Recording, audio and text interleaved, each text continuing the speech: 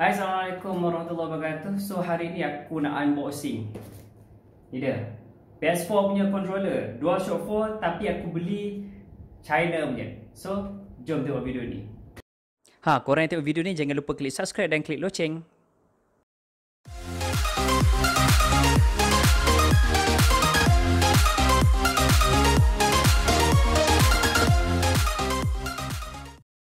Hai, aku Iqbal. So, jom kita unboxing apa yang ada dekat dalam uh, kotak apa nama ni clone.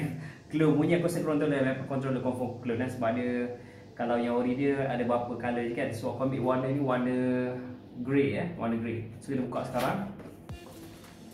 Beli pada Shopee tak sampai 100, tak ingat dah berapa puluh. Okay. Right, so ni kotak dia, letak tepi. Mak. Okay, so ni dia bagi USB cable, USB cable. And then ada dia punya uh, manual. Okay, manual. Okay, dan ini dia. Ini dia. Dia punya controller shop. Alright. Okay, ringan ah. Ringan. Silap aku kalau aku tak ada PS4, tapi aku rasa oh, mak. Tapi rasa aku pernah main uh, PS4 punya pernah main PS4 punya game lah. So first impression aku Okay, kita tengok dia punya ni uh, Dia punya warna grey. So, ringan lah, ringan. And then, apa lagi?